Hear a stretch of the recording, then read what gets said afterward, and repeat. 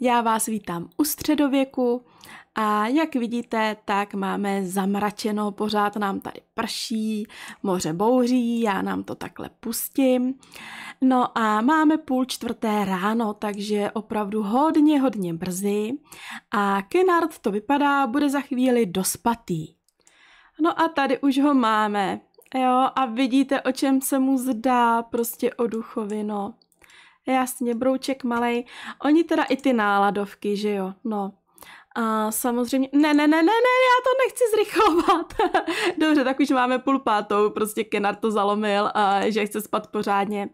A je teda hodně smutný, že jo, kvůli Eldrid Jo, dokonce má ale veselou vzpomínku na manželku, no tak aspoň něco teda. A strach o peníze, přeci jen už na to zůstal sám, že jo, teď ty tři děti. Takže trošičku, jo, trošičku má obavy. A já myslím, že je čas, aby teda vstával. Protože vyspatý je, jsi smutný, veď? Ani vstávat se mu nechce, podívejte se na něj. No, prosím tě, ustel si tady postel.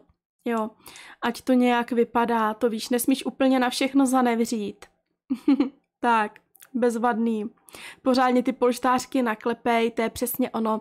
A on se teda rozhodne, uh, protože ji tady v každém koutě vidí, že jo, to je prostě úplně šílený, že potřebuje být aspoň chvíli linku o samotě, děti ještě spí, neměl by je nechávat samotný. A tak jsem určitě zavolá někoho na hlídání a bude chtít prostě zajít do kostela, trošičku si promluvit sám se sebou, Jo, má za sebe dobrý pocit, protože zvládl ustlat, tak to je boží. A co to tam máš, čerstvě ustlaná postel? Jo, dobře, je šťastný. no ale jak už jsem říkala, potřebuje takovou tu chvilku pro sebe, a potřebuje prostě si v kostele jen tak sednout, poslouchat svoje myšlenky a rozhodnout se, co teda vlastně bude v tuhle chvíli dělat dál. Jsme tu, jak vidíte, Kenard poměrně pospíchá a je teda opravdu hodně smutný, takže ho vezmeme dovnitř, ať si tam prostě sedne, jo, a trošičku rozjímá. Takže Kenarde, pojď. Tady si někde sedni, chudák, úplně celý je zmoklý. A teď on teda vlastně poslouchá toho kněze, že jo, a, který má spoustu, spoustu milých slov a spoustu poznatků, jo, vem si určitě Bibli. Skvělý a půjdeš ji teda studovat. A tak Kennard poslouchá mši i s ostatními. A on doufal, že dostane nějaká slova útěchy, nebo že tu pochopí, proč se to Eldrid stalo, nějak se s tím dokáže smířit, že mu to nějak pomůže, jakkoliv, ale nějak. Skutečnost je ale úplně jiná. On je prostě pořád neskutečně smutný. A nejen to, ono je to spíš horší, protože jak tu může přemýšlet, tak mu dochází, jak nesmyslný to je, co se Eldrid stalo. A přijde mu to strašně nefér. A nejenom smutek, teď už cítí i vztek a má pocit, jako by okolo sebe slyšel myšlenky, které si myslí úplně to samé. Jako by to byly nějaké hlasy, které mu říkají, že je to nefér a že to tak vlastně vůbec, ale vůbec nemělo být. A vzpomíná taky na Landina a co mu řekl. Uvědomuje si, že má vlastně brášku, brášku, který ho vůbec nezná a místo toho se musí starat o královskou dcerku a zařídit, aby se nějak měla dobře a ani tomu nějak nepomáhá. Není to prostě dobrý. Je smutnější a vzteklejší čím dál tím víc. A říká si, takže já jsem přišel o manželku, přišel jsem prostě o malýho brášku, který ho nemůžu výdat a přitom je to poslední příbuzný, proč to tak vlastně je. No a jak tak přemýšlí, dojde k závěru, že mimo jeho brášky Landina za to vlastně může ještě ta porodní bába. A jak se v myšlenkách dostane k té porodní bábě, o který se tak trochu šušká, že je čarodejnice, tak ho něco napadne. Když vlastně ona mohla přijít s tím, že mu vezme bratra, proč by mu teď nemohla pro změnu zase pomoct. A tak i když jsme všichni asi čekali, že dojde v kostele k nějakému toho prozření a smíření, stal se pravý opak a náš Kenard se rozhodl, že se vydá za čarodejnicí, jestli by mu nepomohla a pokud mu nebude chtít pomoct, tak on už jí to nějak vysvětlí. Prostě je plný vzteku a smutku. No a jak vidíte, tak už tu Kenard je. A už se o tom baví a on je teda velmi nešťastný a ona se mu ještě k tomu směje a vlastně mu říká, že s tím nemůže vůbec nic dělat.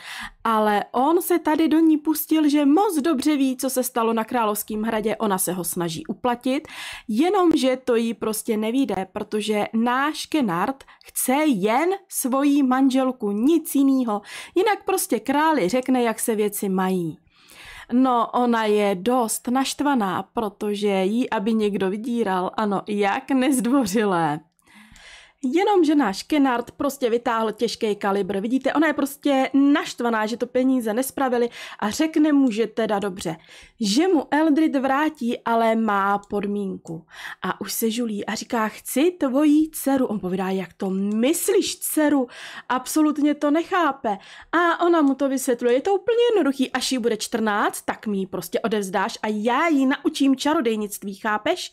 Prostě bude u mě a já ji vychovám podle svých ho. No, jak vidíte, čarodějnice šla domů a nechala ho tady před dveřmi přemýšlet. A Kenard opravdu přemýšlí. Mohl by mít zpátky svou ženu Eldrid, pomyslí si. Ale odevzdat čarodejnici Maggie, až jí bude 14 let? No, je to hodně těžký rozhodování a Kenarci ale na jednu stranu říká, Maggie je ještě maličká, je to daleko, je to spousta let, do té doby třeba něco vymyslí. No a podívejte se, už se nám tady jasně objevuje, že si chce povídat s naší čarodejnicí, která si říká, že už mu dala zřejmě času na rozmyšlenou dost. A on už je rozhodnutý. On sice ví, že by neměl, někde hluboko v srdci to ví, ale rozhodl se, že s ní uzavře smlouvu. A Kenár teda už vchází za ní domů a podívejte se na ten její úšklebek prostě. Ona je tak pomstychtivá, tak zákeřná, Jo, vidíte, uh, jak se dívá. Bůh ví, odkud je tadle holčina, tadle ta krásná slečna, kterou tady má na výchovu. Zřejmě to bude dost podobný případ. A tak náš Kenard slibuje, že udělá to, co ona chce.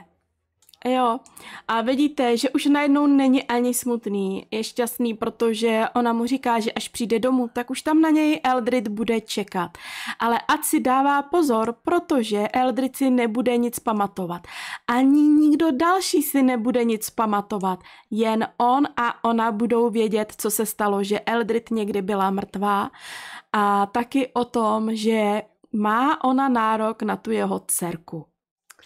No a už se nám usmívá i ona, že jo, protože eh, je nadšená, že se jí to povedlo, že ho zmanipulovala a že dosáhla toho, čeho vlastně chtěla. No a Kenard si myslím může pospíchat domů za svojí úžasnou, krásnou manželkou, na kterou se strašně, ale strašně moc těší a doufá, že prostě teď už budou jenom šťastný a rovnou začnou tím, že si užijou tenhle ten krásný nový svátek. A jak vidíte, náš Kenard právě doběhl domů. a je ten nejšťastnější člověk na světě, protože první, co vidí, tak je naše Eldrid, jak si hraje s malou Maggie. A nemůže uvěřit, že se to povedlo, že je to vážně pravda a naše Eldrid je zpátky. Ježíš Mara, jak jsou obě krásný a úžasný. Samozřejmě, že uh, náš Kenard uvažuje o tom, co bude, až maličký bude 14 let, ale říká si, že času je dost, že za tu dobu snad něco vymyslí. A my budeme doufat, že opravdu jo, protože jinak Maggie prostě skončí u té čarodejnice a bude muset u ní sloužit.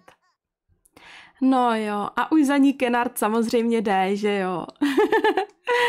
On je prostě strašně šťastný, že jí má, no, jak jinak by se měli přivítat, no a podívejte se na ní. Ona ho má taky tak strašně ráda. Ale teď v první řadě bychom si něco měli přečíst o tom svátku, co nás čeká a který si oni samozřejmě oslaví. A je to teda svátek Mabon. Je to vlastně druhá sklizeň, do toho ještě k tomu sklizeň vína, takže to se nám úplně skvěle hodí.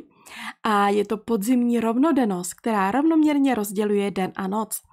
A druidové ho nazývají jménem, který si asi přečtěte sami, protože já to nevyslovím. A ctí zeleného muže boha lesa tím, že stromům nabízejí mošty, vína, bylinky a hnojiva.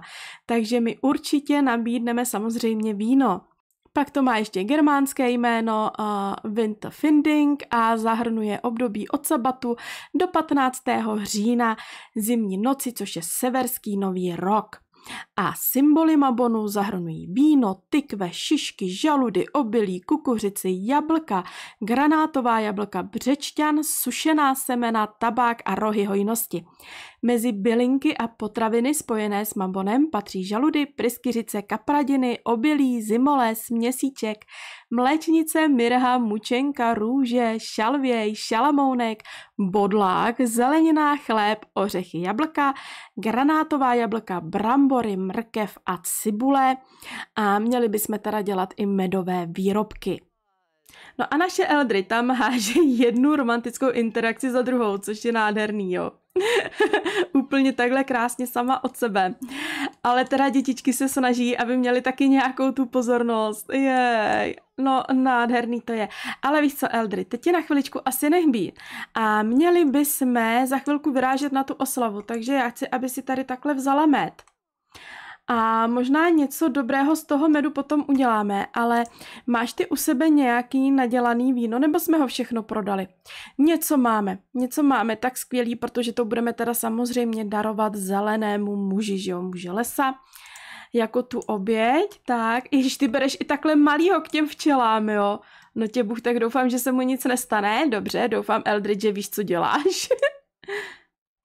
No a než vyrazíme, tak možná, možná přiděláme ještě nějaký to víno. A, možná nějaký, který jsme třeba ještě nedělali, nebo někde tady o tu vzadě, to by mohlo být dražší, třeba ten pamit, tak prosím tě, Beruško, pojď na to. a hned potom pojedeme za ostatními sousedy a nádherně si to tam užijeme. Kenarde, Broučku, ty se ještě postaráš o slepice, jo? Vyčistíš tady kurník, a on samozřejmě nezapomněl na to, co se stalo, i když všichni ostatní jo. A on prostě prodá toho kohouta, o kterým je přesvědčený, že za to mohl, protože nechce riskovat, že by se to znovu stalo, jo. Takže na maso, jasně, protože si z něj uděláme polívku, to je asi jasný. No a my stejně těch kohoutů máme nějak moc, takže uh, lumpík to určitě nebyl, ten je hodnej.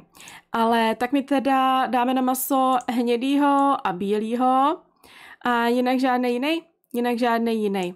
Jo a ještě kvokal. Ne, kvokal je holka, dobře, tak ji potom musíme přejmenovat. Ale je podezřelá. Tak, půjde taky na maso, hezky do polivky. Je, a on i k těm slepicím si tady sebou takhle krásně bere tu malou Maggie. No on s ní prostě teď bude chtít trávit co nejvíc času, má prostě černý svědomí. Ale je přesvědčený, že to vymyslí, ale stejně ho to v těch myšlenkách straší a já myslím, že ho to tam bude strašit celý ty roky.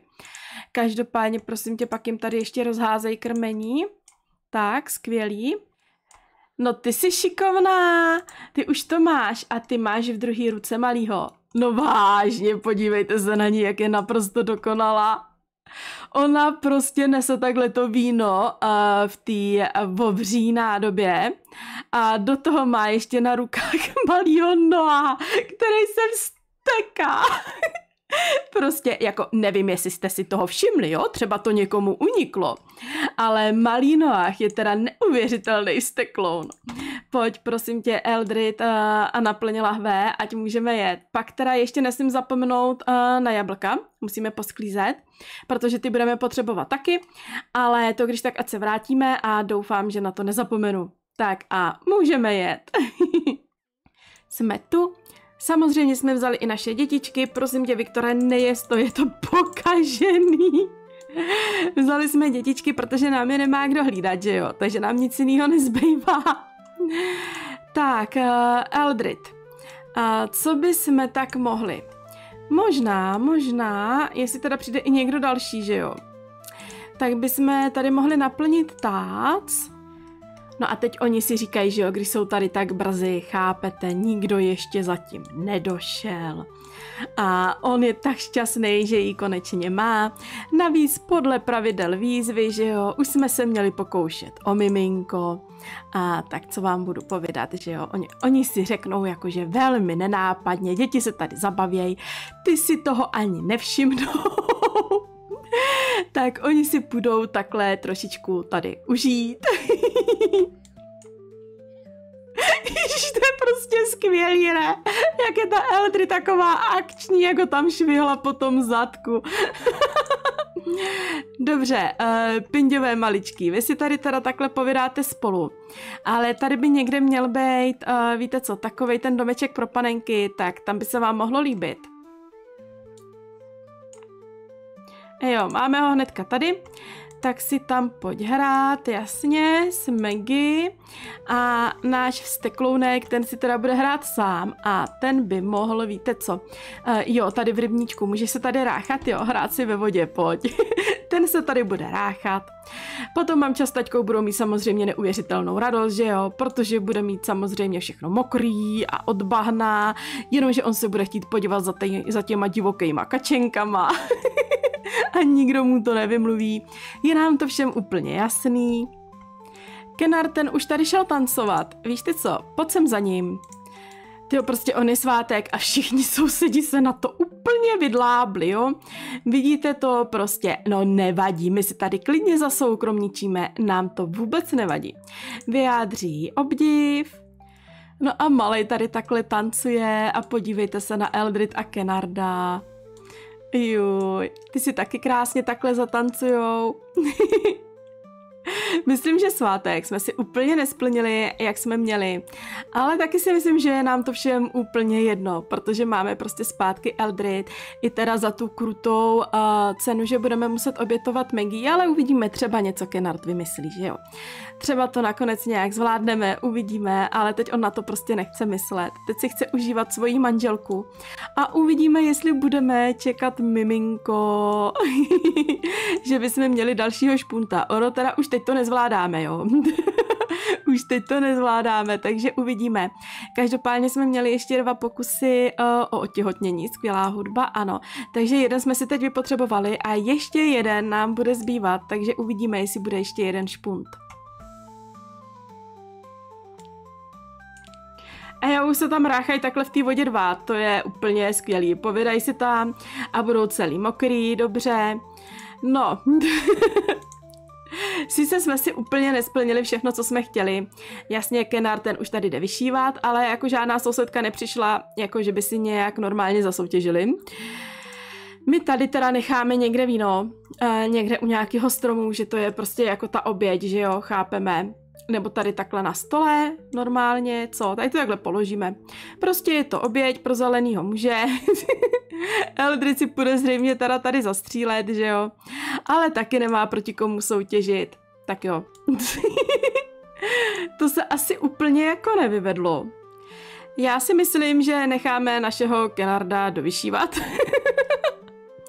A potom pojedeme domů, no. Eldrid ta už nám tam střílí já jsem tak šťastná, že ji prostě máme zpátky.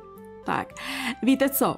Eh, já jsem to udělala nejenom kvůli vašim komentářům, ale taky kvůli tomu, že my jsme o ní přišli kvůli sousedským příběhům, ani ne prostě kvůli pravidlům eh, výzvy, přišli jsme o ní úplně tak hloupě. Eh, sousedský příběhy jsem teda zrušila, protože já si myslím, že tahle ta výzva je dost náročná a krutá sama o sobě a kdyby nám tam takhle zasahovali ještě sousedský příběhy a kuřata by nás tam připravovali o členy naší domácnosti, tak už by to vážně, ale vážně opravdu nešlo. tak, já si myslím, že všichni jsou tady jako utahaný a jedno dítě má utancované nožičky, a další dvě děti máme celý odbahná a úplně mokrý. No, takže si myslím, že tak jako na čase asi jet domů. Co? Sintě, až to dovyšíváš, tak eh, vyrazíme a prodáme to potom, a nebo tak něco.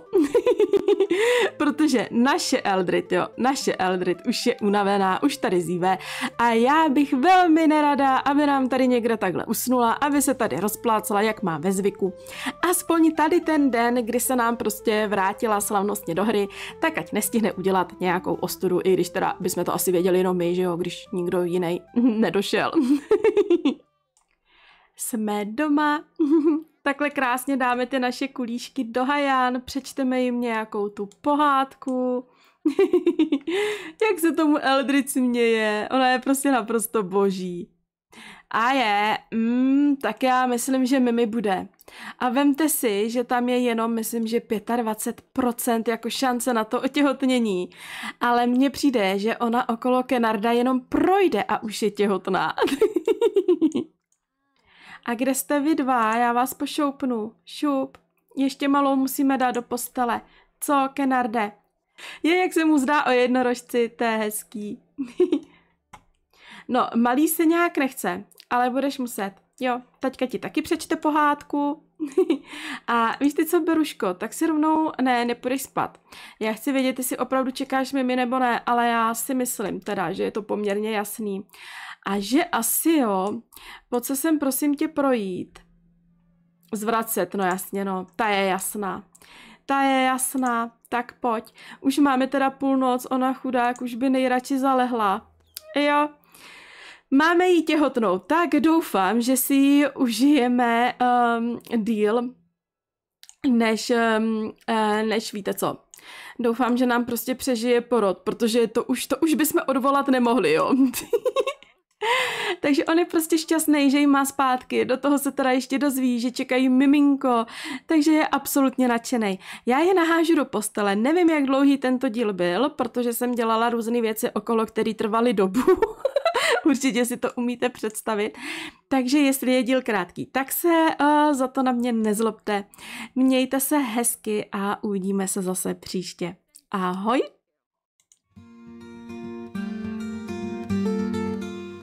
Eldred padla boží těžký. Kenard pláče, srdce v šaru. Láska jeho je příliš velká, pomoc volá čarodějnici zasa tmavého. Čarodějka temnou smlouvu má, za život Eldred dcerku dá. Až jí 14 let bude, dívku odvede s tím půlnoci. O, Eldred vrátila se zpět, nocí vánek šepot skrývá. Láska přinesla tě zpět, ale dceru temná síla tíží. Dny plynou v stínu zaslíbení. Kenard oči klopí dolů. Čas tiká a strach sílí, 14 let se blíží k nám. Sliby zlomené, osud tvrdí, řetězy lásky rozbíjí. Budoucnost dcery temná je, tíživý stín se blíží k ní.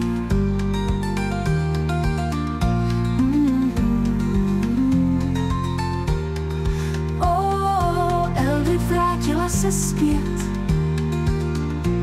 nocí vánek šepot skrývá.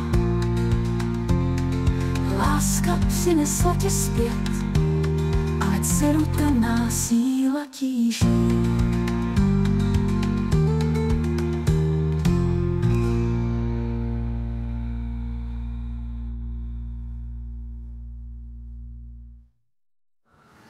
O, Eldred vrátila se zpět. Nocí vánek šepot skrývá. Láska přinesla tě zpět, ale dceru temná síla tíží.